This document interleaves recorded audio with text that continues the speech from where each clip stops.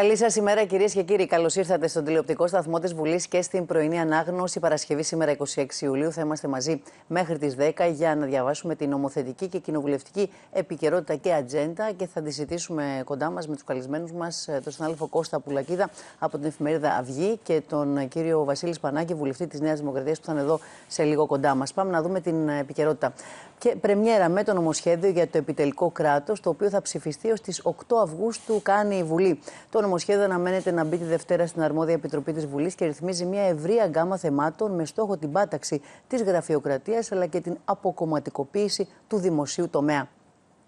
Λίγες ώρες μετά την κατάθεση του πρώτου νομοσχεδίου, ο Πρωθυπουργός Κυριάκος Μητσοτάκης συγκαλεί την πρώτη συνεδρίαση του Υπουργικού Συμβουλίου στο Μέγαρο Μαξίμου. Στη συνεδρίαση που θα πραγματοποιηθεί στις 4 το απόγευμα, θα μπει σε εφαρμογή το νέο σύστημα παρακολούθησης της πορείας του κυβερνητικού έργου που θα αφορούν τα χρονοδιαγράμματα που έχουν τεθεί για τους τομείς που έχει αναλάβει ο κάθε Υπουργός. Με δύο άρθρα κατατίθεται σήμερα στη Βουλή με τη διαδικασία του κατεπήγοντος το μήνυ φορολογικό νομοσχέδιο. Το πρώτο άρθρο προβλέπει τη μείωση του φετουνού έμφυα κατά 22% μεσοσταθμικά και το δεύτερο της βελτιώσεις στη ρύθμιση των 120 δόσεων για τις οφειλές στην εφορία. Για τις διατάξεις του νομοσχεδίου θα ενημερώσει σήμερα το Υπουργικό Συμφούλιο Υπουργός Οικονομικών Χρήστος Ταϊκούρας. Εν τω μεταξύ, την ανάγκη να επιταχυνθούν διαδικασίες για να ξεκινήσει η υλοποίηση της επένδυσης στο ελληνικό, ανέδειξε ο Πρωθυπουργός Κυριάκος Μητσοτάκης στη συνάντηση που είχε στο Μέγαρο Μαξίμου με τον επιχειρηματία Σπύρο Λάτσι. Έτσι διαμορφώνεται η ατζέντα. Πάμε να δούμε το πρώτο θέμα που θα μας απασχολήσει σήμερα και είναι το νομοσχέδιο για το επιτελικό κράτος, το οποίο ήρθε στη Βουλή. Θα το συζητήσουμε με τον Κώστα Πουλακίδα, τον συνάδελφο από την Αυγή. Καλημέρα, καλημέρα Κώστα. Καλημέρα. Λοιπόν, το πρώτο νομοσχέδιο είναι πλέον ε, γεγονός, έχει έρθει, έχει πάρα πολλά μέσα για τις αλλαγές του κράτους. Πάμε να δούμε το ρεπορτάζ που έχει ετοιμάσει ο συνάδελφος ο Κρήτο Βασιλικόπουλος και μετά να έρθουμε να το δούμε αναλυτικά με τις κάρτες μας. Κατατέθηκε στη Βουλή το πρώτο νομοσχέδιο της νέας κυβέρνησης που αφορά στην ανασυγκρότηση του κράτους. Στόχος του νομοσχεδίου είναι ο θεσμικός εξυγχρονισμός της διοίκησης και η αποκέντρωση αρμοδιοτήτων με στόχο την αποκομματικοποίηση του κράτους. Δημιουργείται ένας νέος θεσμός αυτός του μόνιμου υπηρεσιακού γραμματέα σε κάθε Υπουργείο, ο οποίος θα επιλέγεται από το ΑΣΕΠ για τριετή θητεία και θα προέρχεται από τη δημοσιοϊπαλληλική ιεραρχία. Προβλέπεται επίσης η διεύρυνση των αρμοδιοτήτων των γενικών διευθυντών της διοίκησης, οι οποίοι θα επιλέγονται από τα υπηρεσιακά συμβούλια. Η Προεδρία της κυβέρνησης αποκτά επιτελικό ρόλο στο συντονισμό του κυβερνητικού έργου. Με στόχο την ενίσχυση της διαφάνειας και την καταπολέμηση φαινομένων διαπλοκής, θεσμοθετείται μια νέα ανεξάρτητη αρχή διαφάνειας, στην ευθύνη της οποίας θα υπάγονται όλα τα σώματα ελέγχου της δημόσιας διοίκησης. Την πολιτική φιλοσοφία της νομοθετικής πρωτοβουλίας της κυβέρνησης είχε αναλύσεις στις προγραμματικές δηλώσεις ο Υπουργός Επικρατείας Γιώργος Γεραπετρίτης. Μεταφέρεται μια κρίσιμη μάζα διοικητικής ύλης από την πολιτική ηγεσία στην υπηρεσιακή διοίκηση οι αποφάσεις θα λαμβάνονται από την υπηρεσιακή διοίκηση. Εμπιστευόμαστε τη δημοσιοϊπαλληλία. Όλα τα ελεγκτικά σώματα πλέον δεν θα λαμβάνουν πολιτική εντολή, αλλά θα έχουν μόνο διοικητική ιεραρχία. Αυτή είναι η γνήσια αποπολιτικοποίηση.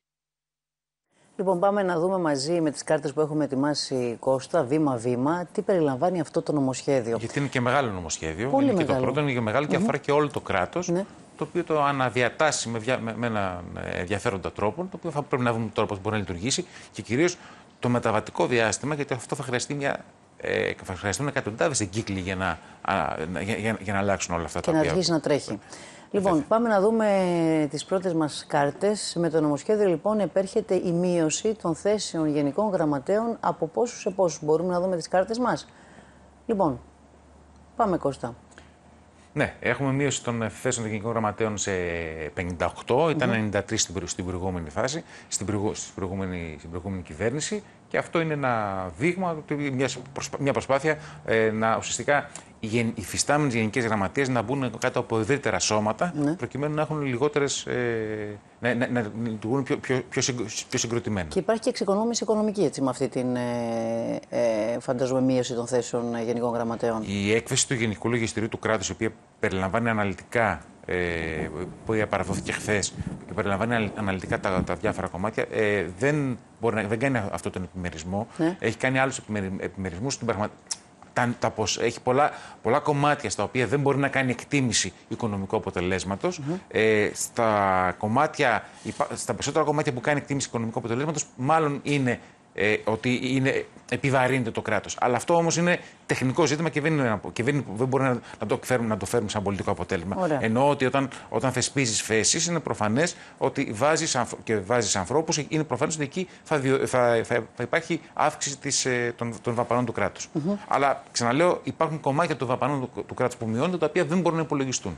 Πάμε να δούμε και την επόμενη κάρτα μας, ε, τι θα περιλαμβάνει το νομοσχέδιο για το επιτελικό κράτος διατηρούνται οι γενικοί διευθυντές που τοποθετούνται από την προηγούμενη κυβέρνηση.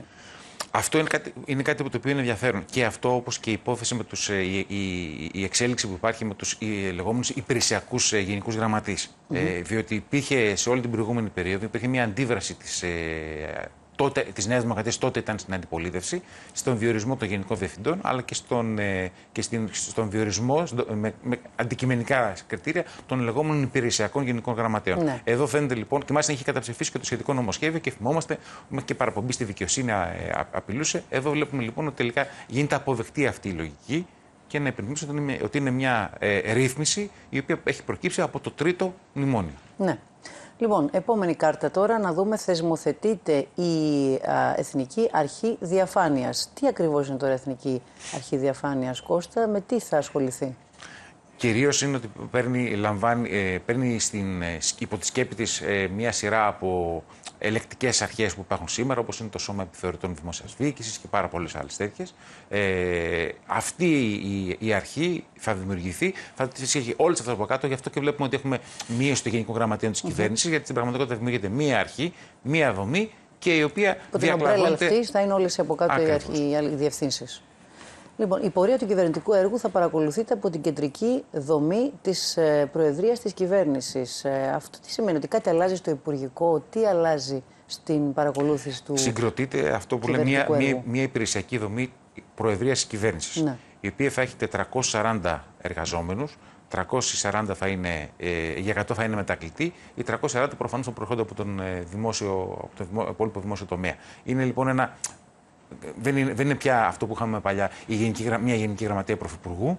Είναι κάτι πολύ ευρύτερο. Είναι ένα κανονικό υπουργείο ε, το οποίο συγκροτείται και λέγεται και θα είναι η Προεδρία της Κυβέρνησης. Αυτή είναι η οποία θα πρέπει να ελέγχει και να παρακολουθεί την εξέλιξη των, σχεδι... των ε, σχεδιασμών, την υλοποίηση μάλλον των πολιτικών που έχουν ε, τα, τα Υπουργεία ε, κομμάτι-κομμάτι. Αυτό θα γίνεται μία φορά κάθε μήνα. Αυτή, μέσα σε αυτή την, φαντάζομαι, την ε, κεντρική δομή που θα δημιουργηθεί θα περιλαμβάνεται και το ηλεκτρονικό σύστημα το μαζί. Δηλαδή μέσα σε αυτό το κομμάτι είναι, ναι. είναι και αυτή η εφαρμογή και η μάλιστα, αν, αν θυμάμαι καλά, αποτελεί, αποτελεί, και διεύθυνση. Υπάρχει, υπάρχει μια ξεχωριστή διεύθυνση η οποία αφορά την, την παρακολούθηση της υλοποίησης του, του, του, του συγκεκριμένου πληροφοριακού συστήματος. Mm -hmm. Πάντως η βασική ιδέα που υπάρχει είναι να φτιαχτεί μια μεγάλη δομή.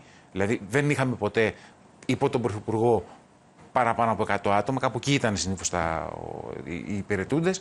Τώρα ε, θα έχει 440 άτομα τα οποία θα είναι ε, υπό τις ε, εντολές του, του Πρωθυπουργού. Και βλέπουμε τώρα κάτι καινούριο, ότι θα ετοιμαστούν και επιτροπές εργασίας σε αυτό το κομμάτι που θα είναι κάτω από το Υπουργικό Συμβούλιο στην ουσία για να προετοιμάζουν όλα τα θέματα που θα φέρνουν στη Βουλή, τα νομοθετήματα, τις ρυθμίσεις, τις ε, πρωτοβουλίες που πρέπει να γίνουν. Υπάρχει πλειάδα επιτροπών η οποία δημιουργείται. Ναι. Ε, η οποία είναι ε, για, για, για, κάθε θέμα, για κάθε τομέα της κυβερνητικής, κυβερνητικής πολιτικής και με, με διάφορους τρόπους θα μπορεί να, να ελέγχει τους υπουργούς και τα, και, και τα υπουργεία για το πώς λειτουργούν. Πώς λειτουργεί. Πάμε στην επόμενη κάρτα μας. Αντιμετωπίζεται η κακονομία και η πολυνομία. Μεγάλο θέμα, μεγάλο κεφάλαιο πολύ μεγάλη ιστορία στην Ελλάδα. Και η κακονομία και η πολυνομία ναι, και... σε δύο επίπεδα. Και για να λέμε τώρα και το. να, να, να πούμε και την κακία, δηλαδή, μια και λέμε και την κακονομία, να πούμε και μια κακία. Ναι. Ε, και το νομοσχέδιο έτσι όπως ήρθε, ε, ήρθε με μια κακή νομοθέτηση τροποντινά έτσι, γιατί καθυστέρησε να έρθει κάποιες μέρες, διότι ακούστηκε μια γκρίνια ε, γιατί ότι υπάρχει, υπήρχε εμπλοκή γραφειοκρατικού χαρακτήρα που, η οποία αποδίδεται στο, στο δημόσιο και συγκεκριμένα στο Γενικό Λογιστήριο του κράτους. Ε, και όπως καταλαβαίνουμε, εντάξει, και ήταν και μεγάλο και ήρθε και πάρα πολύ αργά το βράδυ, ήρθε ναι. 11 η ώρα το βράδυ. Έτσι. Εντάξει, κοίτα, Αλλά εσύ, δεν πειράζει, αυτά γίνονται. Εσύ που ξέρεις το κοινοβουλευτικό ρεπορτάζ και έχεις εμπειρία. Έχουμε τέτοια, περάσει. Πολλάκις έχουν γίνει τέτοια σε όλες τις κυβερνήσεις ε. διαχρονικά και αργά τα νομοσχέδια και μετά τις 12 12 το βράδυ, αν θυμάσαι. Αυτό είναι αλήθεια. Και με Και καθυστερήσεις ημερών, ενώ Έτσι. περιμέναμε συγκεκριμένη Και, ημερομηνία με, έρχεται και, με μετά. πάρα πολλές, και με πάρα πολλές αλλαγές. Και εντάξει, και Αλλαγές, είναι ναι. ένα κομβικό νομοσχέδιο προφανώς, το λέμε τώρα. Ναι, όχι, έτσι για τη συζήτηση ε, μεταξύ μας. Λοιπόν, καταπολεμάται η κομματικοποίηση του δημοσίου. Είναι κάτι που το ακούμε πάρα πολύ. Ε, το ακούσαμε και από τον κύριο Γεραπετρίτη, τον αρμόδιο υπουργό, που έχει συντάξει και το νομοσχέδιο, τον Υπουργό Επικρατείας, και από βουλευτές ε, του κυβερνώντος κόμματος. Ότι ε, αυτό το κομμάτι θα αλλάξει στο δημόσιο. Πώς είναι, Τι σημαίνει Ποιος τώρα; είναι ο τρόπος να, κα- να. Γιατί το έχουμε ακούσει ένα εξαγγελία, το λένε όλοι. Ε, ό- το λένε όλες οι κυβερνήσεις. Ε, Όμως, δείτε τώρα, έχουμε ήδη, έχουμε ήδη δει διορισμούς γενικών γραμματέων. Το οποίο είναι ένα κομματικό κράτος. Ναι. Προφανώς.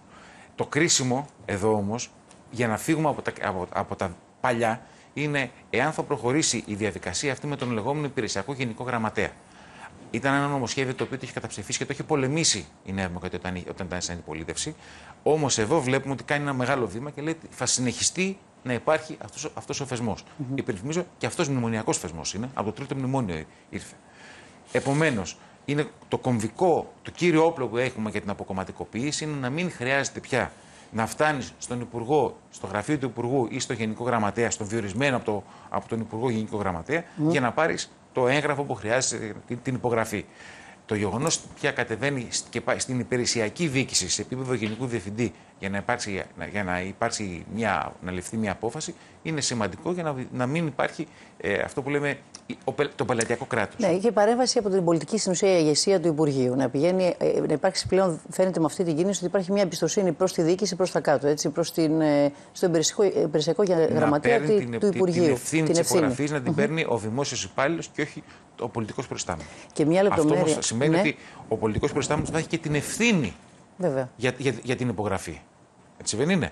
Το οποίο σημαίνει ότι αν υπογράφει Γενικός Διευθυντής, δεν μπορούμε τα- να, να ζητάμε από τον Υπουργό την Ευθύνες ευθύνη για, την για απο- κάτι που για- πήρε για ο κάτι που- υπηρεσιακό διευθυντής, βέβαια. Και αυτός ο υπηρεσιακό διευθυντής, να τονίσουμε, για αυτό το κομμάτι του νομοσχεδίου, θα επιλέγεται αποκλειστικά με διαδικασία ΑΣΕΠ. Ναι. Έτσι, γιατί είναι σημαντικό αυτό, χωρίς να υπάρχει εμπλοκή της πολιτικής ηγεσίας και να είναι. Αυτό είναι στην ουσία η αποκομματικοποίηση που ε, θέλει να φέρει αυτό το νομοσχέδιο. Περιορίζεται δραστικά η γραφειοκρατία. Το τέρας της γραφειοκρατίας, να πούμε, γιατί δεν είναι απλά γραφειοκρατία. δούμε αυτό, να το ζήσουμε να αυτό. το δούμε, ναι. Λοιπόν, η Ας επόμενη πλήσαμε τα κάρτα μαλλιά μας. μας, Ακούγοντας αυτή τη διαδικασία. Αλλαγές την- λοιπόν την που φέρνει το εξαγγελία. νομοσχέδιο για το επιτελικό κράτος, περιορίζεται δραστικά η γραφειοκρατία. Να το δούμε λοιπόν στην πράξη πώς θα γίνει αυτό. Δηλαδή, έχουμε έτσι μια εικόνα από τα. Από τι δεν έχουμε ακόμα. Όλα δηλαδή Είναι, είναι οι και το ίδιο το- αποφάσεις είναι πώ και το θα ίδιο το γίνονται, νομοσχέδιο πώς θα πολύ σύνθετο. εκδίδονται. Είναι και το ίδιο το νομοσχέδιο πάρα πολύ σύνθετο για να Ναι. καταλάβουμε πώς θα, πώς θα λειτουργεί. Το γεγονός πάντως ότι κατεβάζει το επίπεδο υπογραφής μία μονάδα κάτω, δι- ε, δύο επίπεδα κάτω, δηλαδή δεν είναι στο πολιτικό επίπεδο και πηγαίνει στο επίπεδο της δημόσιας διοίκησης, απο, ε, αποτελεί ένα ενδιαφέρον. Όπως επίσης ενδιαφέρον είναι ότι υπάρχει, θα υπάρχει παρακολούθηση ε, των, ε, της, της πορείας, του υλοποίησης το- και Των του, έργων. του, έργου, του έργου των δημόσιων υπηρεσιών. Ε, το γεγονός, δηλαδή αυτό, αυτό θα, δίνει, θα δίνει μια δυνατότητα να, να υπάρχει, να προχωρούν δηλαδή οι υποθέσεις.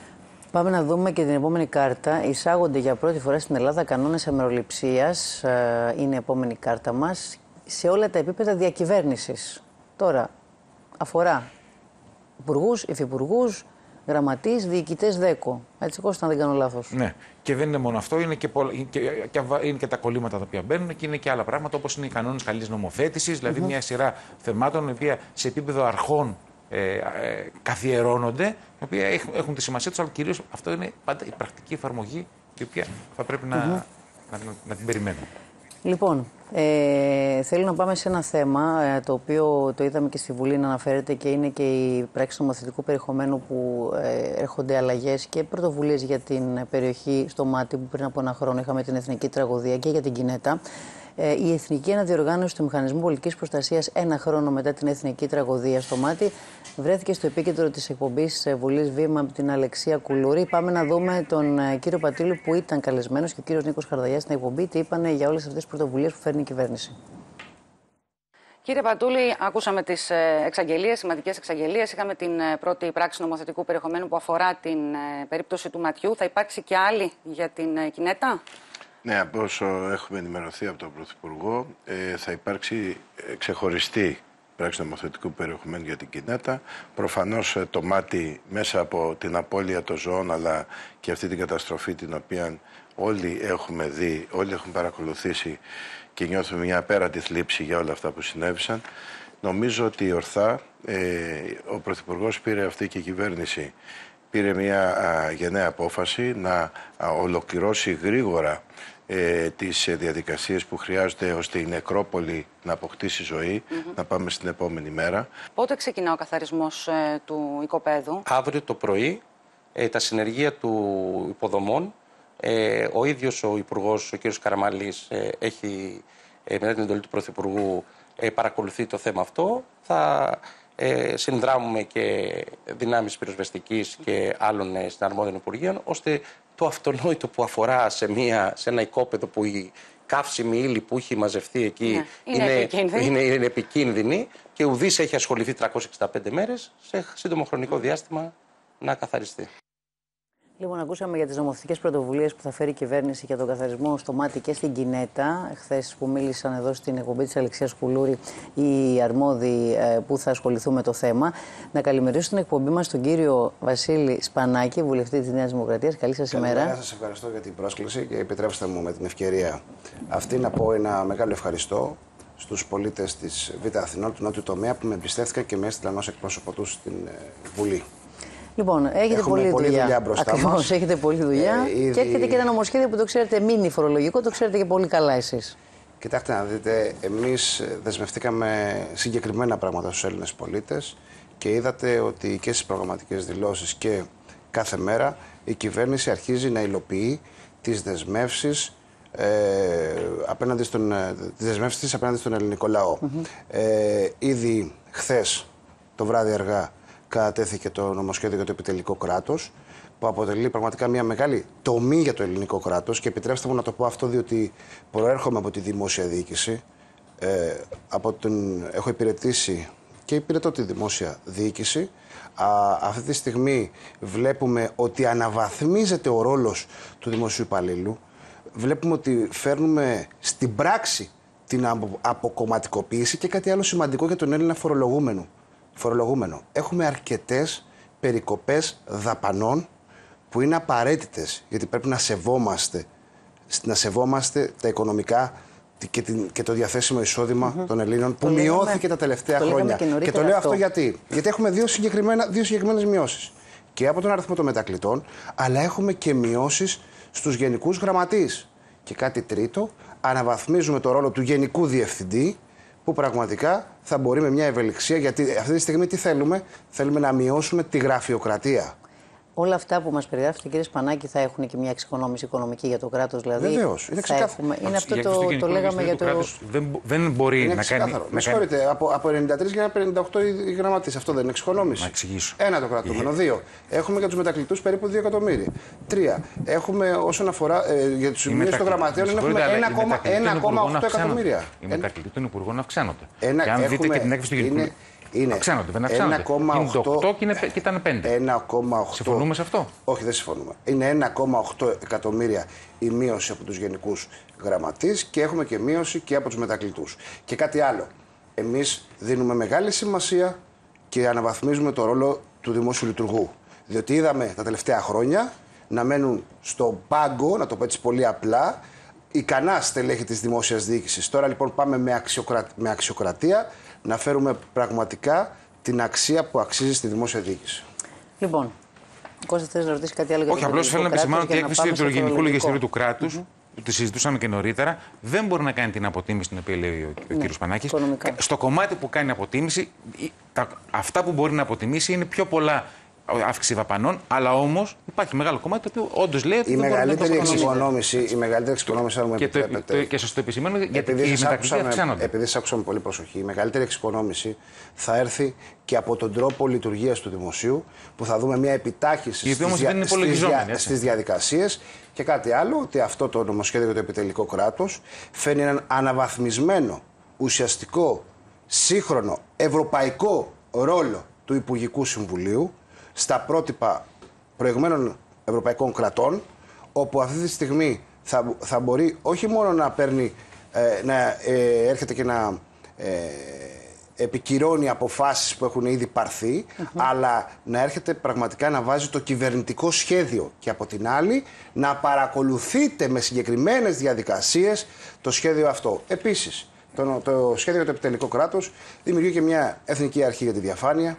Έρχεται και συγχωνεύει συγκεκριμένα ε, σκόπιες υπηρεσίες δεξιά και αριστερά, που πραγματικά να μιλάμε το 2019 για ένα συντονισμένο και σύγχρονο κράτος και μια συντονισμένη και σύγχρονη δημόσια διοίκηση. Λοιπόν, επειδή ο κύριος Μητσοτάκης, ο Πρωθυπουργός, έχει καθιερώσει επισκέψεις πρωινές νωρίς το πρωί σε υπουργεία, όλη αυτή την ε, δύο εβδομάδες που είναι ήδη στη διακυβέρνηση. Τώρα, λίγο πριν το, στις 9 το πρωί, επισκέφθηκε το Υπουργείο Αγροτικής Ανάπτυξης να δει τον ε, Υπουργό, τον κύριο Μάκη Βορύδη, τον Υφυπουργό, τον κύριο Κωνσταντίνος Κρέκα και την κυρία Φωτεινή Αραμπατζή.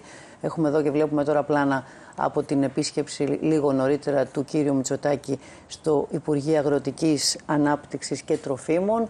Λοιπόν, είναι μια τακτική που έχει γενιάσει ο Πρωθυπουργός να βρίσκεται νωρίς ε, σε Υπουργεία, να κάνει συσκέψεις με τους υπουργού και τον Υπουργό, ώστε να δει αν έχει ξεκινήσει το έργο και οι προτεραιότητες και οι στόχοι που έχουν μπει ήδη με τους φακέλους που έλαβαν στο πρώτο Υπουργικό στα χέρια τους όλοι οι υπουργοί. στόχους. Ναι, γι' αυτό λέω. Επειδή έχουν πάρει. Διάγραμμα. Το ραβασάκι εισαγωγικά το έχουν πάρει από νωρίς. Ήταν προετοιμασμένοι οι στόχοι για κάθε Υπουργείο από νωρίς. Ο ίδιος ο κ. Μουστάκης δείχνει πως από κοντά θα παρακολουθεί το έργο των Υπουργών του και με την εφαρμογή που λέγαμε νωρίτερα Κώστα την ε, ψηφιακή το μαζί, ε, ηλεκτρονικά και ψηφιακά, αλλά και με επισκέψεις που θα κάνει. Το απόγευμα στις 4 έχουμε Υπουργικό Συμβούλιο. Εμείς πάντα βλέπουμε πλάνα από το Υπουργείο Αγροτικής Ανάπτυξης και τη συσκέψη που τώρα είναι σε εξέλιξη. Και στις 4 το απόγευμα έχει Υπουργικό, κύριε Σπανάκη και Κώστα Πουλακίδα, για τα πρώτα έτσι, Ουσιαστικά ε, για το φορολογικό. Ναι, και το φορολογικό θα κάνει μια ενημέρωση ο κ. Σταϊκούρας, αλλά φαντάζομαι θα υπάρξει και μια συζήτηση ε, για τα τι έχουν παραλάβει τώρα οι υπουργοί. Το πρώτο φορολογικό, γιατί έχουμε δύο φορολογικά. Ναι, το μήνυμα φορολογικό. το πρώτο φορολογικό που θα κατευθύνει σήμερα το βράδυ, οπότε θα μπορούμε και τις επόμενες μέρες να κάνουμε mm -hmm. συγκεκριμένες αναλύσεις. Εμείς ε, τώρα μπορείτε να μας δώσετε μια εικόνα. Και να κάνω ένα σχόλιο. Κοιτάξτε ναι. να δείτε. Ε, αυτή τη στιγμή φέρνει μια μείωση μεσοσταθμικά 22%. Για τις μικρές περιουσίε φτάνει και το 30%. 20% για τις μεσαίες περιουσίες και 10% για τις μεγάλες περιουσίες. Αυτή είναι η πραγματικότητα. Απέναντι σε αυτά τα οποία λέει ο ΣΥΡΙΖΑ, ότι εμείς ευνοούμε κτλ. Όχι. Οι μεσαίες περιουσίες θα ευνοηθούν μέχρι και 30%. Μεσοσταθμικά θα είναι 22%. Είναι ξεκάθαρα τα νούμερα, δεν μπορεί να τα αμφισβητήσει κανένας. Αν θέλετε, να σας δώσω και παραδείγματα πολύ, πολύ ευχαρίστως. Όμως το κυριότερο είναι ότι αυτή τη στιγμή η, θα το δούμε βέβαια και συγκεκριμένα με την κατάθεση το, mm-hmm. το νομοσχέδιο. Αυτή τη στιγμή φέρνουμε τις 120 δόσεις και για τα νομικά πρόσωπα. Να σκεφτούμε ότι έχουμε 450.000 και πλέον νομικά πρόσωπα, όπου από αυτά η μεγάλη τους πλειοψηφία δεν μπόρεσε να μπει στη ρύθμιση. Να πούμε και δύο νούμερα έτσι για να Άρα ευκολύνουμε. τη ρύθμιση να πούμε. έτσι, ακούστε λίγο. από τα 450.000 νομικά πρόσωπα έχουν οφειλές 7 δισεκατομμύρια. Ξέρετε πόσες οφειλές έχουν ρυθμιστεί, Το 1 δισεκατομμύριο. Αυτή τη στιγμή λοιπόν η Νέα Δημοκρατία έρχεται να υλοποιήσει μια προεκλογική δέσμευση, να δώσει τη δυνατότητα να ρυθμίσουν. Γιατί, γιατί υπάρχουν κατασχέσεις, γιατί υπάρχουν, υπάρχουν αναγκαστικά μέτρα ίσπραξης που πρέπει επιτέλους να δώσουμε ανάσα στην οικονομία. Και επειδή ακούω τους ε, συναδέλφους του, του ΣΥΡΙΖΑ να λένε ότι εμείς σας αφήσαμε γεμάτα ταμεία, κοιτάξτε να δείτε. Εμείς ε, γεμάτα ταμεία από την υπερφορολόγηση και από τη φοροδιαφυγή, αυτά τα πράγματα, αυτά τα πρωταθλήματα που έφερε ο ΣΥΡΙΖΑ στην Ελλάδα, εμείς δεν ερχόμαστε να υιοθετήσουμε τέτοιες λογικές. Εμείς θέλουμε να έχουμε γεμάτα ταμεία μέσα από ανάπτυξη, να έχουμε μέσα από πραγματική ανάπτυξη της οικονομίας, από επενδύσεις, που αυτό θα έρθει πώς; Με την αξιοπιστία της ελληνικής οικονομίας, που βλέπετε ότι κάθε μέρα αρχίζουμε και κερδίζουμε την εμπιστοσύνη. Γιατί, Γιατί βλέπουμε ότι έρχεται μια κυβέρνηση να εφαρμόσει μια ατζέντα και μια σταθερή φορολογική πολιτική, να φέρει κανόνες συγκεκριμένους ε, συγκεκριμένου, ώστε ο άλλος να νιώσει ότι μπορεί να εμπιστευτεί την ελληνική οικονομία ε, και, ώστε να κάνει επενδύσεις. Το είδαμε και το μήνα Ιούνιο που έτρεξε, που όλοι γνωρίζαμε ότι ήταν θέμα ημερών. Ήταν θέμα ημερών γιατί 26 Μαου το βράδυ προκηρύχθηκε, ε, ο, πρωθυπουργός, ο πρώην Πρωθυπουργός είπε ότι θα πάμε τη χώρα σε εκλογές. Δεν ξέραμε την ημερομηνία. Είδαμε όμως τον Ιούνιο να επιστρέφουν πίσω οι καταθέσεις. Αυτό τι σημαίνει; Τον ότι τον Ιούνιο έχουμε το είπε η Τράπεζα της Ελλάδος. Συγκεκριμένα, συγκεκριμένα νούμερα. Δεν έγινε και τον Άρα, Μάρτιο λοιπόν, και τον Απρίλιο και τον νούμερο. Το φαινόταν ότι ήταν θέμα ημερών, ήταν θέμα εβδομάδων, ήταν θέμα εβδομάδων, ήταν θέμα εβδομάδων η αλλαγή πολιτική, η Ναι, πολιτική αλλά το αλλαγή. να λέτε ότι έγινε Άρα, μόνο λοιπόν, τον Λέτε υπήρξε Ιούνιο. αλλαγή κλίματος, Δημιουργεί- δηλαδή. Ακριβώς. Ακριβώς. Εμείς Τον- λοιπόν τον αυτό το Οκτώβριο κλίμα. που έγινε, Εγώ γιατί το λέω αυτό. Αφού να έχουν σας πω- επιστρέψει να σας καταθέσεις πω από κα- καιρό. να σας πω, Αυτή είναι η πορεία, δεν είναι γιατί αυτή η το λέω πορεία. αυτό; Εδώ και πολύ καιρό. Γιατί το λέω αυτό; Γιατί το αρνούμαστε, Διότι γιατί θέλουμε εμείς, να κάνουμε τώρα, με εμείς τα εκλογικά ζητήσαμε από τον συζήτηση. ελληνικό λαό να εμπιστευτεί τη Νέα Δημοκρατία για να φέρουμε μια πολιτική αλλαγή. Αλλά αυτή η πολιτική αλλαγή ακόμα και πριν τις εκλογές άρχισε να αποτυπώνεται και με συγκεκριμένους αριθμούς.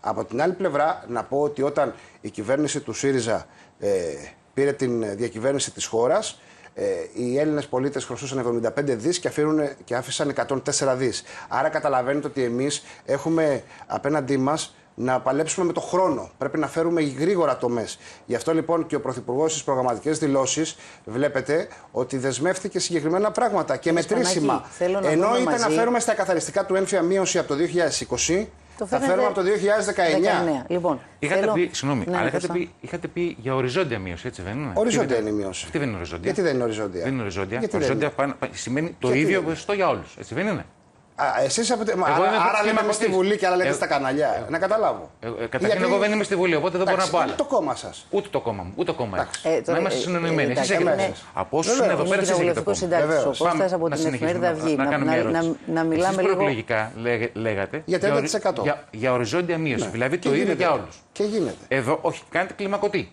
Το οποίο κατά την άποψή μου είναι και Σας κοινωνικά. πειράζει δηλαδή που Το ο ανάποδο. άλλο στις τζιτζιφιέ ή στα Το σούρμενα ανάποδο. θα μειωθεί Το ανάποδο, 30% κύριε. σας πειράζει. Το ανάποδο δηλαδή. σας. Αν με αφήσετε να- Γιατί ο Πρωθυπουργός άλλα είπε στη, στη Βουλή. Να, να το ξαναπώ. Το ανάποδο λέω. Ε, καλύτερα που κάνετε κλιμακωτό γιατί είναι πιο σωστό. Α, Να κλει- άρα συμφωνείτε. Συμφωνώ με την Εγώ κλιμακωτό. περιμένω να το ψηφίσετε τώρα στο νομοσχέδιο. Το ερώτημα, να το πείτε στο ΣΥΡΙΖΑ να το Στους, ψηφίσετε. στους Εγώ δεν έχω βουλευτές να του ψηφίσω ΣΥΡΙΖΑ, κάτι. όχι Λοιπόν. στον συνάδελφο τον Κώστα Πουλακίδα, γιατί το ρεπορτάζ μεταφέρει. Έτσι Ξα- σας μεταφέρει το Έχω ρεπορτάζ. Δεν μια ψηφίζει ο συγκεκριμένη Κώστας. ερώτηση. Θα γίνει, θα γίνει όμως ποτέ η οριζόντια Θα πολιτική περιμένετε υποστηρικτή. το Η Νέα Δημοκρατία. νομοσχέδιο, Όχι τώρα, θα στην επόμενη περιμένετε φάση. το νομοσχέδιο και θα δείτε και άλλες εκπλήξεις. Τι σας έκανε να αλλάξετε και να πάτε από την οριζόντια στην κλιμακωτή; Όπως θετικά μέτρα φέραμε, όπως θετικά μέτρα φέραμε ε, και για το θέμα της οικογένειας. Εμείς δεσμευτήκαμε συγκεκριμένα Τι σας πράγματα. έκανε να- μην αλλάξουμε φέρνουμε θέμα, μιλάμε αύξηση για τον του ΕΦΕ. Τι σας έκανε να αφορολόγητου- αλλάξετε φέρνουμε και να αύξηση φύγετε του από την οριζόντια αφορολόγητου για να κάθε πάτε στην παιδί. κλιμακωτή; Όλα αυτά λοιπόν θα τα αποτυπώσουμε. Εγώ θα έλεγα το εξής. Ναι. Θα έλεγα να περιμένουμε και το φορολογικό νομοσχέδιο και αν θέλετε να κάνουμε όποια κουβέντα θέλετε και συγκεκριμένα. Και Καλά, θα ακολουθήσει και δεύτερο εννοείται. φορολογικό νομοσχέδιο. Επειδή όμως, ένα λεπτό κύριε Σπανάκη, ξέρετε τα φορολογικά πάρα πολύ καλά. Ναι. Να δούμε λίγο μαζί τι αλλάζει, δηλαδή να δούμε τις αλλαγές της 120 γιατί μας ακούνε και τηλεθεατές. Ναι, να τώρα πάρουν αυτά όλα μια... είναι πληροφορίες. Ναι, Εγώ πάντα θα- πληροφορίε. θα ήθελα να είμαι Εννοείται, συγκεκριμένος, εννοείται εντάξει. έχουμε πληροφορίες και μεταφέρω και εμείς το ρεπορτάζ που υπάρχει από τα Υπουργεία. ακριβώς. Ναι, και, και ο- είναι και ο πάντα Κώστας. έγκυρο το ρεπορτάζ Ναι, και χαίρομαι ναι. και η κριτική είναι πάντα καλοδεχόμενη. Ε, βέβαια. Και αν θέλετε προς το καλό. Και ε, γίνεται χειμώνα. και βελτιώνεται και όποιος ακούει στη Ακριβώς, κριτική. Δεν ακριβώς. είναι- Αλλή οι μόνο να μην αλλαγές- δεχόμαστε την κριτική. Βέβαια, φυσικά. Αλλή- Οι Κυρίως, να- αλλαγές- κυρίως το, το, κρί- το κρίσιμο με την κριτική είναι να απαντάτε η κριτική. Βεβαίως, απαντάμε και συγκεκριμένα και με πράξεις κιόλας. Λοιπόν, πάμε να δούμε να μας απαντήσετε τώρα σε ό,τι ξέρετε. Τι θα αλλάξει στις 120 δόσεις, ποιες είναι οι βασικότερες αλλαγές; Δηλαδή, έχω, βλέπω ότι υπάρχει Εγώ μια θεωρώ ότι η βασικότερη μηνιαία αλλαγή δόση είναι από που 30 εντάσσονται σε τα 20 νομικά. ευρώ. Που εντά... Ναι, Ακούστε. ναι. Η, η μεγαλύτερη αλλαγή είναι ότι δίνουμε την, περισσό... την δυνατότητα σε περισσότερα πρόσωπα να ενταχθούν. Αυτό είναι η πρώτη αλλαγή. Ναι. Δεύτερον, έχουμε μείωση του επιτοκίου από 5 σε 3%. Έχουμε από εκεί και πέρα κάποιες άλλες ρυθμίσεις όσον αφορά Μη- τα Μείωση του ποσού που δίνετε, του, τις δόσεις. η μείωση του ποσού της δόσης από 30 σε 20 ευρώ. Ακριβώς. Και μια, αλλά θα ήθελα, θα ήθελα να σας παρακαλώ θερμά σε αυτό, Ναι. να το αναλύσουμε με την κατάθεση, να είμαστε συγκεκριμένοι.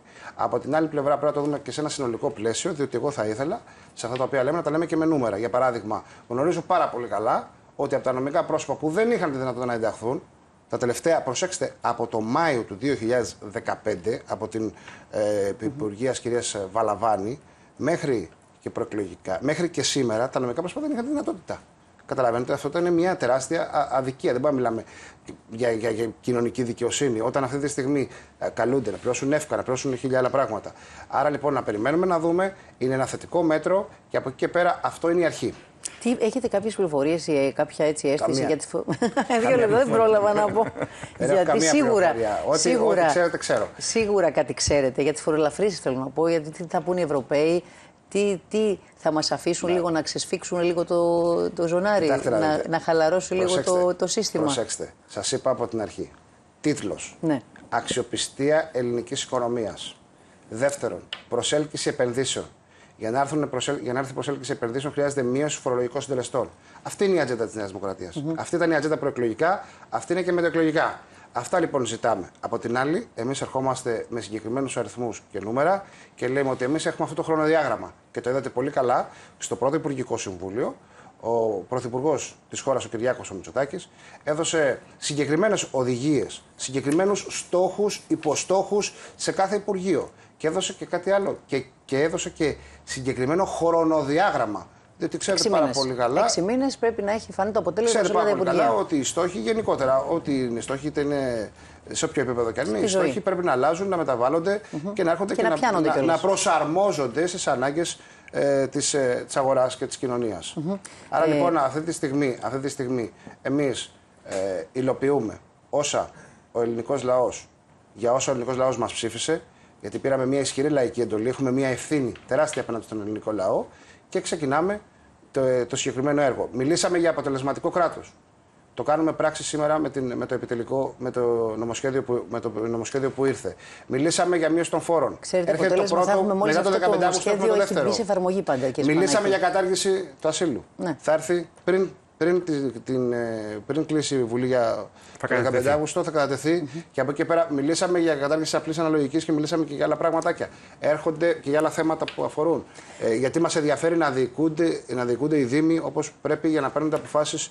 Ε, Το σημαντικό σωστές. πάντως, κύριε Σπανάκη και Κώστα, είναι ότι ένα νομοσχέδιο από τη στιγμή που θα έρθει, θα επεξεργαστεί, θα γίνει επεξεργασία στη Βουλή, θα ψηφιστεί, θα γίνει νόμος του κράτους, μετά να μπει και στην εφαρμογή του και στη Ακριβώς. λειτουργία του. Γιατί Εκεί είναι από και το- νόμους είμαστε full στην Αν μου Ελλάδα. επιτρέπετε να πω το κάτι. θέμα είναι πόσο τηρούνται, Δυστυχώς πόσο. είμαστε και κα- φούλα από, από εγκυκλίους και προεδρικά Ναι, διατάγματα. ναι. Έχετε, αν μου επιτρέπετε Έχει να, ήδη να βγει πω κάτι πάνω προεδρικό εδώ, διάταγμα που διότι- δι- διορθώνει προηγου- προηγου- προηγούμενο, Προηγούμενο, προηγούμενο, ακριβώς, βέβαια. προηγούμενο προεδρικό διάταγμα γιατί είχε λάθη ακόμα και στα ονόματα των ανθρώπων. Έτσι. Ε, αν μου επιτρέπετε, επειδή άκουσα, ακούω και κριτική, προσέξτε, είναι πολύ σημαντικό η παρακολούθηση του κυβερνητικού έργου. Είναι πάρα πολύ σημαντικό. Αυτό γίνεται σε όλα τα σύγχρονα ευρωπαϊκά κράτη. Άρα λοιπόν το να παρακολουθείς, να έχεις μια ε, συγκεκριμένη δομή που να παρακολουθείς το κυβερνητικό έργο δεν είναι κακό. Αυτό, Όχι, δι- ε, αυτό, φυσικά. αυτό βοηθά, προσέξτε, προς την αύξηση της αποτελεσματικότητας του κυβερνητικού, ε, του κυβερνητικού έργου. Άρα λοιπόν ε, εδώ είμαστε για να μπορέσουμε να εφαρμόσουμε αυτά τα οποία ε, πήραμε εντολή από τον ελληνικό Θέλω λαό. να πάμε Στο, και σε- στο ναι, νομοσχέδιο Κώστα. που κατατέθηκε χθες, προβλέπεται η, η δημιουργία της δομή που λέγεται Προεδρία της Κυβέρνησης. Να. Αυτή θα έχει 440 άτομα εργαζόμενους. Ε, από, πού θα, από πού θα προκύψουν αυτοί, Γιατί αυτό είναι, είναι λίγο ασαφές. Το ξεκαθαρίζει, δεν είναι ασαφές. Το ξεκαθαρίζει. Απλά, απλά προσέξτε να δείτε. Ε, μην ε, πετάμε έτσι ότι θα έχει τόσα άτομα ή οτιδήποτε. Δεν μι- μιλάμε ότι θα υπάρξει συγκεκριμένη διαδικασία στελέχωσης, συγκεκριμένα κριτήρια στελέχωσης, αξιοκρατικά κριτήρια στελέχωσης. Να το ξεκαθαρίζουμε και αυτό. Είναι και 340 από την άλλη- εργαζόμενοι στο δημόσιο τομέα, οι και από- δημόσιοι και υπάλληλοι από και, την 100, άλλη- και 100 μετακλητοί. και από την Το άλλη- ερώτημα είναι αυτοί οι 340.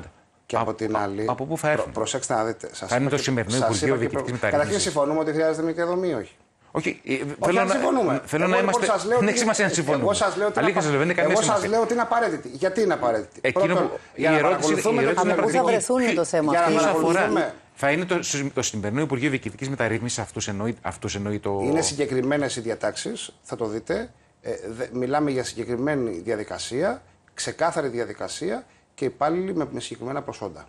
Εντάξει, ο Κώστας καταλαβαίνω θέλει να ρωτήσει αν θα γίνουν και νέες προσλήψεις. Αυτό. Όχι, Όχι, δεν, δεν, δεν είναι αυτό. Απλώ Από προσπαθώ να πού θα καταλάβω βρεθούν, αν, καθάρισμα. πού από θα πού- βρίσκονται και πώς- Ναι. από πού θα μετακινηθούν, αν θα υπάρξει Ναι. μετακίνηση ή αν οι σημερινοί εργαζόμενοι στο Υπουργείο Διοικητικής Ανασυγκρότησης Βεβαίως και στο θα δικαίως υπάρξει- τροποτινά βεβαίως θα και θα βρεθούν, υπάρξει- θα βεβαίως βρεθούν και θα- στο, στην βεβαίως Προεδρία της και θα Κυβέρνησης. Οπότε είναι, υπάρξουν- είναι διαφορετικό Βεβαίως και θα το, υπάρξουν μετα- το μετα- μεταρρυθμιστικό Βεβαίως και θα πλαίσιο. υπάρξουν Μετακινήσεις. μετακινήσεις. Βεβαίως και θα υπάρξουν μετακινήσεις, γιατί άλλες αλλιώς παρακολουθείτε το έργο του Υπουργείου Οικονομικών, αλλιώς του Υπουργείου Αγροτικής Ανάπτυξης. Χρειάζεται υπαλλήλους διαφορετικών ε, προσόντων. Από την άλλη όμω, από την άλλη όμως, είναι κάτι το οποίο εφαρμόζεται σε όλα τα προηγούμενα ευρωπαϊκά κράτη. Είναι απαραίτητη αυτή η δομή, διότι με αυτόν τον τρόπο θα μπορέσουμε να βλέπουμε και να μετράμε την αποτελεσματικότητα και να βλέπουμε και στην πράξη πώς πηγαίνει η ροή των αποφάσεων. Γιατί εκεί είναι το μεγάλο θέμα, ξέρετε, η κοινωνία τι λέει; Λέει, ωραία, εσείς νομοθετείτε, ωραία όλα αυτά, αλλά όταν πηγαίνει στην τελευταία δημόσια υπηρεσία, δυστυχώς βλέπουμε κάποια πράγματα να στραβώνουν.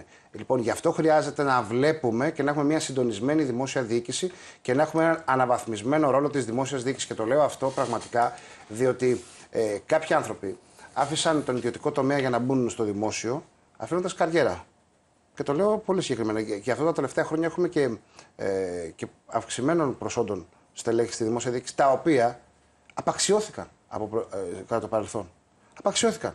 Τώρα λοιπόν εμείς δημιουργούμε τις προποθέσει εκείνες ώστε να αναβαθμίσουμε τη δημόσια διοίκηση. Και η υπογραφή στο Γενικό Διευθυντή είναι πάρα πολύ σημαντική τομή. Και η πάρα ευθύνη πολύ που θα μεγάλη έχει. τομή. Και η ευθύνη που θα έχει, την ευθύνη φυσικά. την έχει ούτως ή άλλως. Προσέξτε, την ευθύνη την έχει ούτως ή άλλως.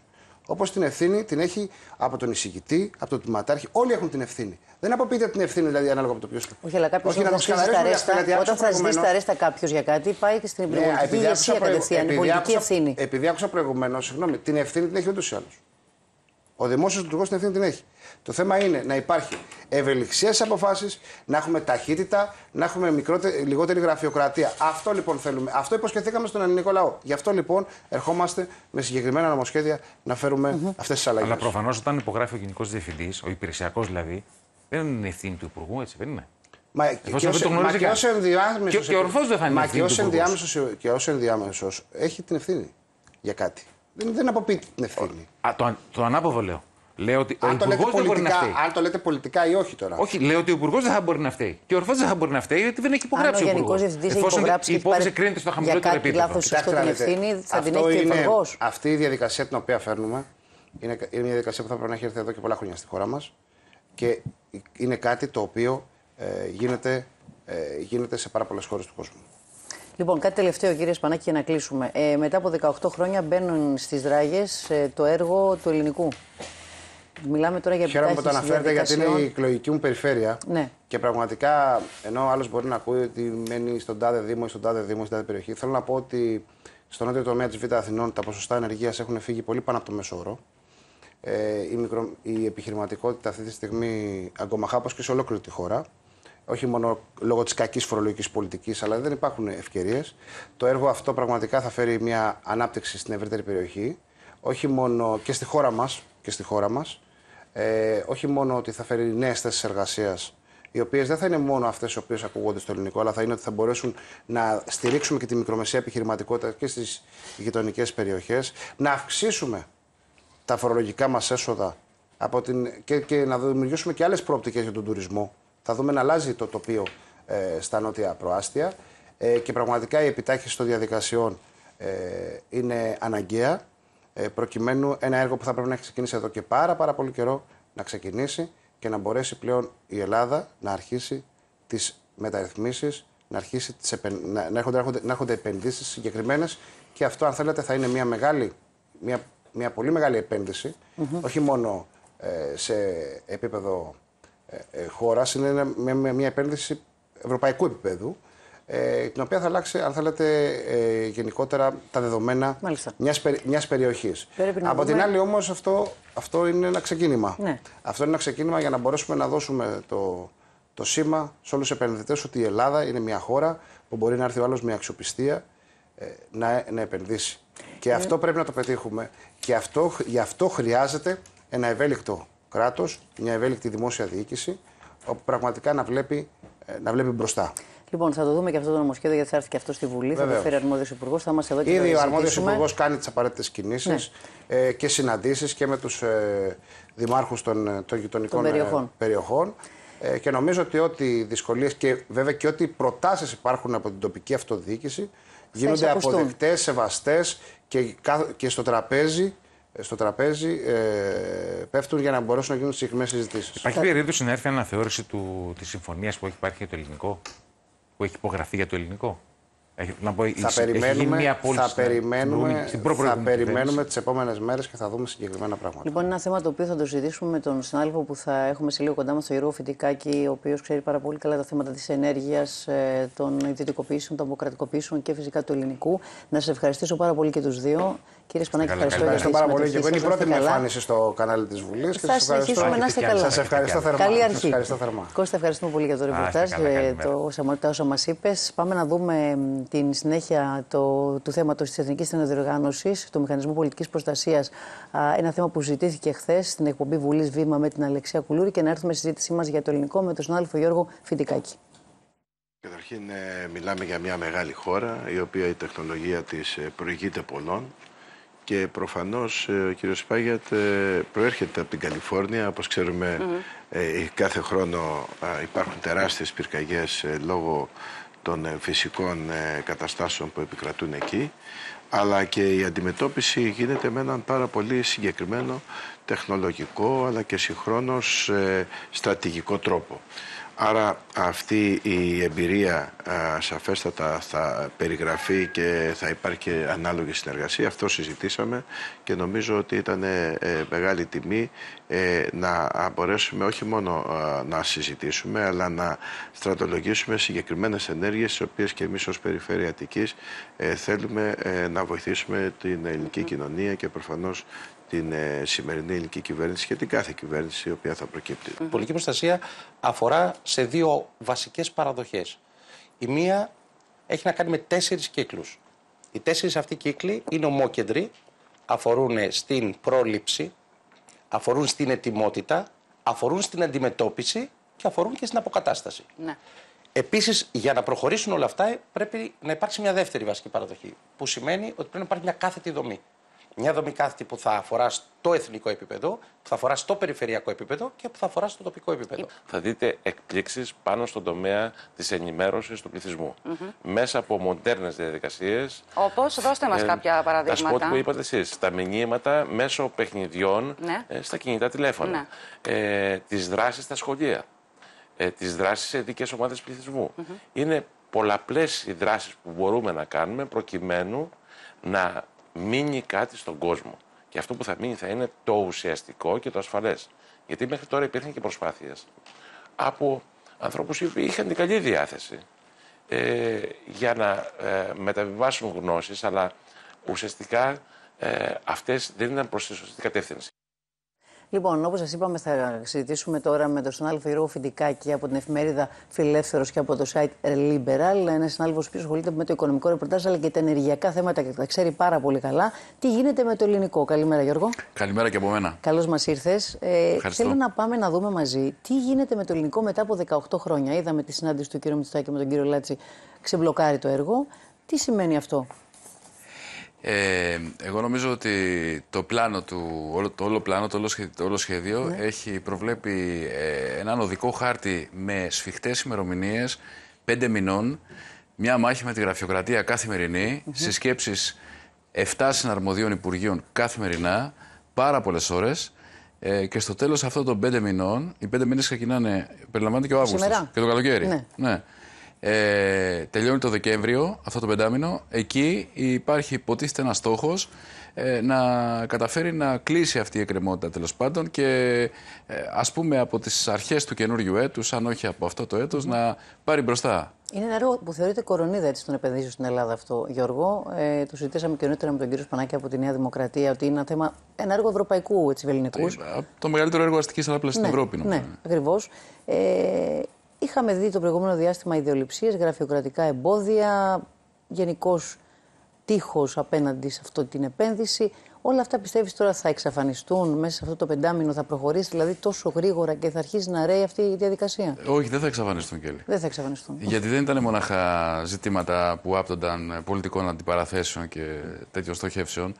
Είναι ζητήματα που έχουν να κάνουν με το βαθύ ελληνικό, με τη, με τη, με τη βαθιά ριζωμένη νοοτροπία. Ναι ε, ενός ε, κράτους, ενός μιας ε, τέλος πάντων γραφειοκρατίας που, που, που είναι υπερκομματική, που δεν έχει να κάνει με όλα αυτά. Δεν είναι τυχαίο ότι όπως ο ίδιος ο Υπουργός, ο συντονιστής, ο, Γεωργια, ο Άδωνος Γεωργιάδης το έχει πει, ε, κάθε μέρα γίνονται ε, συσκέψεις πολύ ωραίες, 7 συναρμόδιων υπουργείων. Πρόσεξε, 7. Εδώ ναι, ναι, μία οικία, μία κοινή υπουργή απόφασης που υπογράφουν τρεις υπουργοί και λέει κανείς θα εφαρμοστεί αυτό το πράγμα. Λοιπόν, και κάθε μέρα, ενώ υποτίθεται ότι θα έπρεπε να έχουμε φτάσει στο.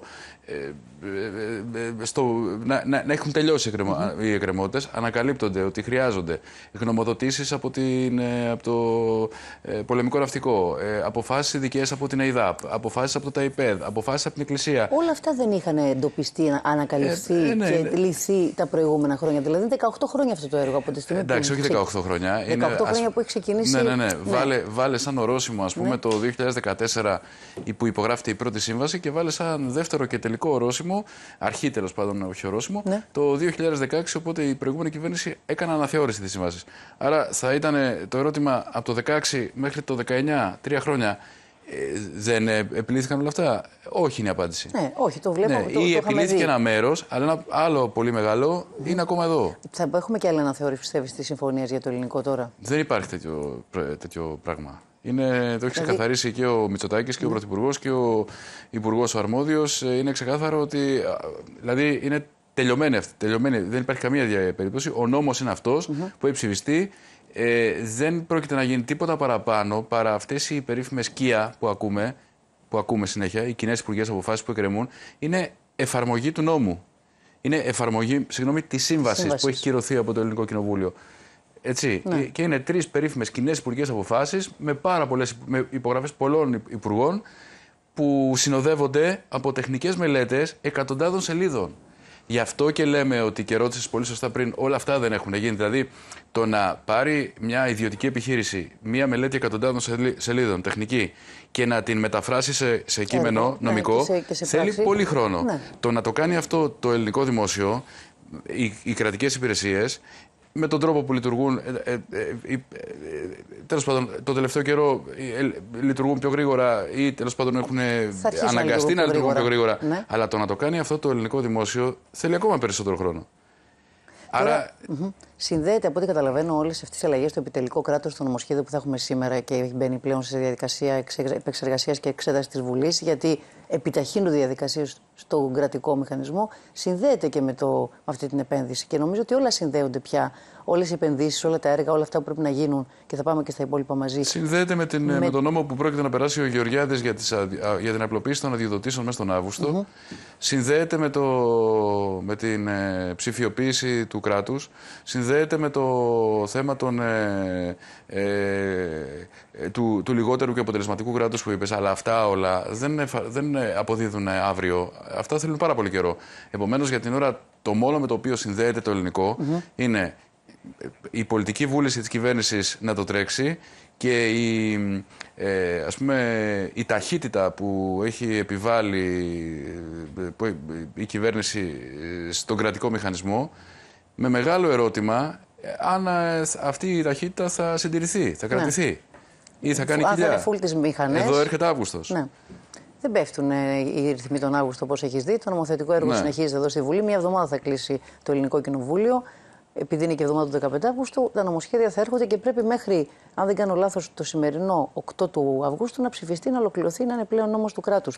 Θέλω να πάμε σε ένα θέμα, βλέπω παντού σε όλα τα ε, δημοσιογραφικά site, ε, το θέμα με την κατάσχεση που έγινε ε, ενός που γούσταγε στη ΔΕΗ, 23.000 ευρώ για φύλλα, χίλια τετραγωνικά μέτρα στην Κηφισιά κατάσχεση της περιουσίας μεγαλοφιλέτη, ακριβώς όπως το είπες, ε, ο οποίος μάλιστα είχε ενταχθεί στο κοινωνικό οικιακό τιμολόγιο με πλαστά πιστοποιητικά. Τώρα πάμε στη ΔΕΗ. Μεγάλο πρόβλημα. ΔΕΗ. Έχουμε τέτοια πολλά περιστατικά, πιστεύεις, όπως αυτό; Ε, ωραία. Ένα ερώτημα λοιπόν είναι πόσα, ε, ακριβώς αυτό που λες, ε, πόσα τέτοια περιστατικά ένταξης ε, ατόμων με ευκατάστατων στο κοινωνικό τιμολόγιο υπάρχουν; να εντοπιστούν. Ναι, να, θα, θα εντοπιστούν. Ε, θυμάμαι ότι κατά καιρούς η τωρινή διοίκηση της ΔΕΗ που πρόκειται να αλλάξει ε, είχε κάνει κάποιο κυνήγι, είχε ξεκινήσει μια εκστρατεία για να εντοπίσει τέτοια περιστατικά, είχε ανακοινώσει πόσα είχε εντοπίσει. Δηλαδή είναι κάτι το οποίο κατά, καινού, κα, κατά καιρούς έρχεται, έρχεται και, και μετά κάθεται και ξαναέρχεται. Φαντάζομαι τώρα λοιπόν ότι επειδή έχει εξαγγείλει η κυβέρνηση, ο κ. Χατζηδάκης, ότι θα ξεκινήσει ένα κυνήγι στρατηγικών κακοπληρωτέων, έχει αναφέρει μάλιστα 60.000 ανθρώπους οι οποίοι χρωστούν 800 εκατομμύρια και δεν είναι φτωχοί, αλλά πλούσιοι, ότι εντάσσεται τώρα και αυτό ε, σε μια τέτοια ε, ευρύτερη λογική. Ε, έτσι, γιατί ακόμα το τι θα γίνει με τους, το πώς θα αλλάξει το πλαίσιο, πόσο αυστηρότερο θα γίνει, πότε θα κατάσχονται περιουσιακά στοιχεία και πότε όχι, δεν έχει καθοριστεί. Όχι, είναι σε επίπεδο εξαγγελιών. Ναι. Άρα εικάζω ότι εντάσσεται και αυτό το περιστατικό μαζί με ενδεχομένως κάποια άλλα σε αυτή τη λογική. Είναι αυστηρό πλαίσιο και σύστημα που θα υπάρχει για να εντοπίζονται τέτοιες περιπτώσεις. Τώρα το θέμα της διάσωσης της ΔΕΗ. Γίνεται μια προσπάθεια διάσωσης της ΔΕΗ. Ε, και αυτό που μου έκανε εμένα εντύπωση που άκουσα από τον κύριο Χατζηδάκη, από τον αρμόδιο υπουργό, είναι πως ε, θα ήταν κάποιος χαζός, δεν ξέρω να το λέω σωστά, να ενδιαφέρεται να πάρει τη ΔΕΗ. Κάτι τέτοιο δηλαδή. Τρελός, ας πούμε. Ναι, κάτι τρελός. Θα ήθελα ότι, να πετάξει τα λεφτά του. Ναι, ότι είναι δηλαδή τόσο απαξιωμένοι και τόσο σε ένα χαμηλό στάτους αυτή τη στιγμή αυτός ο οργανισμός που κανείς δεν θα ενδιαφερθεί. Είναι έτσι πραγματικά. Δεν είναι παίρνει ένα, εξυγίανση. Δεν είναι ένα asset αυτή τη στιγμή. Ναι. αν συγκρίνουμε, ας πούμε, ποια είναι τα, τα ελληνικά περιουσιακά στοιχεία ε, τα οποία μπορούν να προσελκύσουν ε, επενδύσεις και, και, και να έχουν υψηλές αποδόσεις ανάλογα με τα λεφτά που θα μπουν. Mm Ναι, η ΔΕΗ δεν είναι στα πρώτα. Και δεν είναι στα πρώτα γιατί, γιατί πραγματικά έχει δίκιο ο κ. Κατσιδάκης. Δηλαδή θα γίνει αυτό, εάν ναι. γίνει, εφόσον εξηγιανθεί, αν μειωθεί το θέμα των στρατηγικών κακοπληρωτών, αν πάψει το 50% των, αυτή τη στιγμή τις χρωστούν, ε, το 50% του ετησίου κύκλου εργασιών της. Τις, τις, χρωστούν δηλαδή οφειλέτες διαφόρων ειδών και τέτοιοι με βίλες αλλά και άλλοι, λιγότερο mm ευκατάστατοι, 2,7 ε, δισεκατομμύρια επί ενός συνολικού τζίρου 4,5 δις. Άρα της χρωστούν το 50% του ετησίου κύκλου εργασιών ναι, τη. Τέτοια επιχείρηση με τέτοια χρέη θα είχε κλείσει, ναι. αν δεν ήταν ιδέη. Άρα, ε, πώς να είναι ελκυστική; Και αναφέρω τώρα ένα μόνο από τα ναι, ναι, ναι. Δεκάδε παραδείγματα το, το, το, προβλήματα. Το, δεν ξέρω αν είναι επειδή παρακολουθείς το ρεπορτάζ και τι θα φέρει και ο κύριος Χατζηδάκης για το θέμα της ΔΕΗ. Πώς θα ενισχυθεί η ρευστότητα αυτής της επιχείρησης, Υπάρχουν κακοπληρωτέ. Σωστό είναι αυτό που λες. 2,5 2,7 δισεκατομμύρια ναι, ναι, ναι. πρόθεσμων οφειλών. Και δεν είναι άμεσης απόδοσης αυτά όλα. Το να ξεκινήσει ένα κυνήγι σε στρατηγικούς, σε, σε κακοπληρωτέ, μπορεί να αποδώσει, μπορεί να μην αποδώσει, αλλά δεν αποδίδει άμεσα. Ε, το σχέδιο Χατζηδάκη που εξήγηλε και δεν έχει εξειδικευτεί, έχει δύο σκέλη. Το ένα στο σκέλος των εσόδων και το άλλο στο σκέλος της μείωσης των δαπανών. Πάμε στην αύξηση των εσόδων. Εξήγηλε ε, εξορθολογισμό τιμολογίων. Ε, αυτό είπε ότι θα, και λέει η κυβέρνηση ότι θα γίνει χωρίς να επιβαρυνθούν οι καταναλωτές. Πράγματι, έτσι φαίνεται. Μένει να το δούμε και όταν εξειδικευτεί. Θα γίνει μια ε, αναπροσαρμογή των τιμολογίων προς τα πάνω και ταυτόχρονα η όποια αύξηση θα εξουδετερωθεί, λέει η κυβέρνηση, από μία μείωση της χρέωσης, της λεγόμενης χρέωσης που, που πληρώνουμε όλου του λογαριασμούς μας, ονομάζεται ΕΤΜΕΑΡ. Mm-hmm. Οι λογαριασμοί του ρεύματο έχουν πάρα πολλές χρεώσεις μέσα. Ναι, ναι. Οπότε πολλοί μπορεί να μην είναι εξοικειωμένοι. αλλά κάποιος... Κανείς δεν προσέχει τις λεπτομέρειες ναι, αυτές. Άμα κάποιος κοιτάξει, θα δει πάρα πολλές χρεώσεις. Ε, οπότε παίζοντας εκεί, αυξάνοντας τη μία, μειώνοντας την άλλη, μπορεί να έχει ένα αποτέλεσμα. Πάντ, ανάλογα. Θα είναι πάντως ε, τελικά το αποτέλεσμα. Ουδέτερο. Ε, ουδέτερο γιατί είναι σαν να ακούμε. Όπως λέει η κυβέρνηση. Θα το τιμολόγιο λίγο, αλλά θα ισοφαρίσει με κάτι άλλο. δεν θα έχουμε αύξηση πάντως στο Μένουμε σε αυτό που έχουμε ακούσει από την κυβέρνηση. Αυτή έχει σημασία να ακούσει ο κόσμος. Δεν θα υπάρχει ξαφνικά μέσα στον Αύγουστο αυξήσεις στα τιμολόγια του ρεύματος. Ναι. Μένουμε σε αυτό που έχουμε ακούσει από την κυβέρνηση, ότι θα είναι ουδέτερο το αποτέλεσμα και αυτό όμως, επειδή θα ε, δοθεί περισσότερο χρήμα στη ΔΕΗ, όπως είπαμε, με την αύξηση μία συγκεκριμένης χρέωσης που λέγεται ενέργεια. Όποιο κοιτάξει το ε, τιμολόγιο του θα το δει στο λογαριασμό του και θα μειωθεί με την ε, ε, χρέωση ΕΤΜΕΑΡ. Επειδή λοιπόν θα αυξηθεί η πρώτη η χρέωση, θα μπουν λεφτά στο Ταμείο της ΔΕΗ. Αυτό λοιπόν αφορά το κομμάτι των εσόδων. Έτσι ε, χρειάζεται, η ΔΕΗ χρειάζεται άμεση ρευστότητα, άμεσο cash flow. Εκεί λοιπόν η, η παρέμβαση στο κομμάτι των εσόδων, μια από τις παρεμβάσεις είναι, είναι αυτή. Μια άλλη είναι το κυνήγι των κακοπληρωτών. Ναι. Μια άλλη είναι η μερική ιδιωτικοποίηση του ΔΔΕ. Αυτό θέλω να πάμε τώρα στη μερική ιδιωτικοποίηση. Υπάρχει ενδιαφέρον.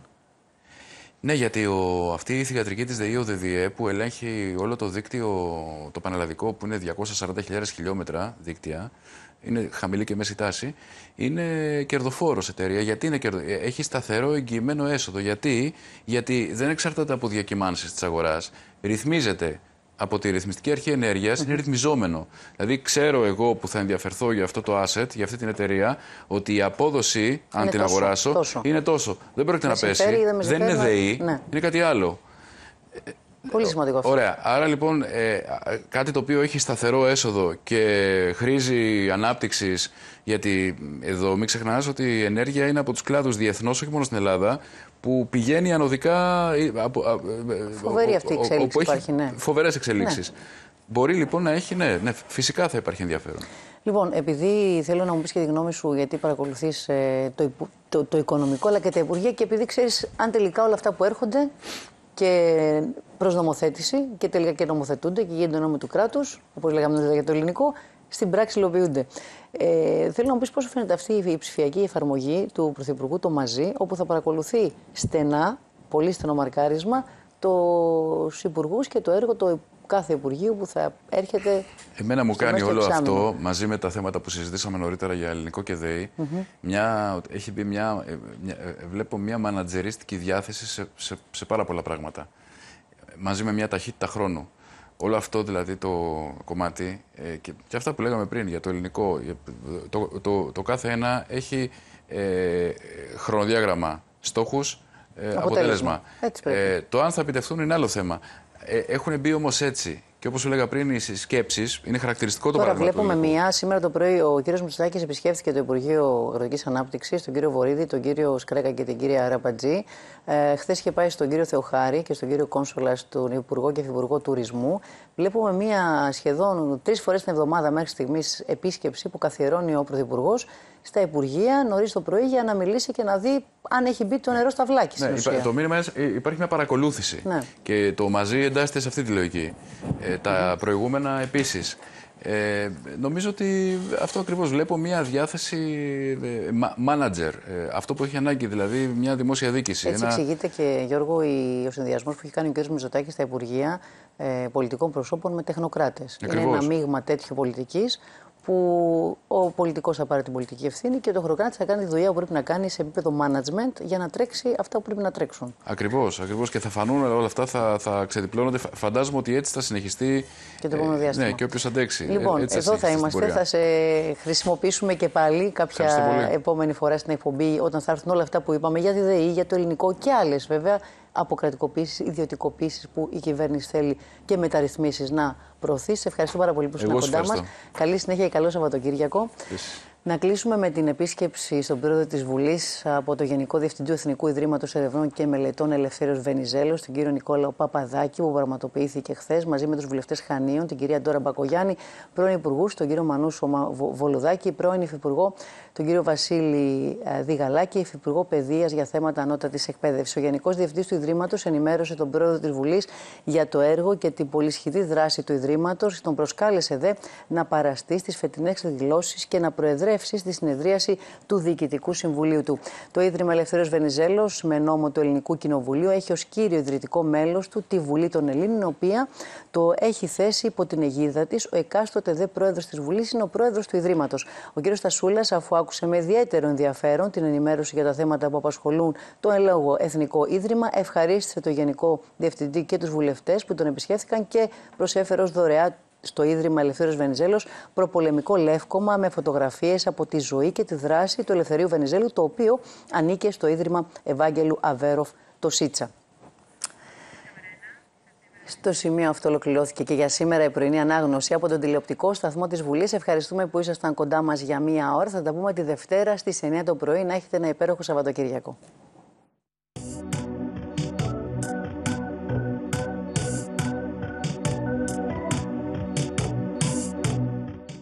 Σαν σήμερα το 1867 πεθαίνει στη Βαβέργη ο Όθων, ο πρώτος βασιλιάς των Ελλήνων. Πέθανε πέντε χρόνια μετά την έξωσή του από την Ελλάδα. Λίγες ημέρες πριν είχε επισκεφθεί ένα χωριό έξω από τον Μπάμπερκ, όπου είχε ξεσπάσει επιδημία ελαρά. Όταν επέστρεψε σπίτι του, εμφάνισε συμπτώματα της αρρώστιας. Σε λίγες ημέρες η κατάστασή του επιδεινώθηκε και οι γιατροί δεν μπορούσαν να το σώσουν. Λίγο πριν πεθάνει, ένας καθολικός παπάς του διάβασε την ευχή, ο Όθωνας είπε στα ελληνικά το πάτερ ημών και ξεψύχησε.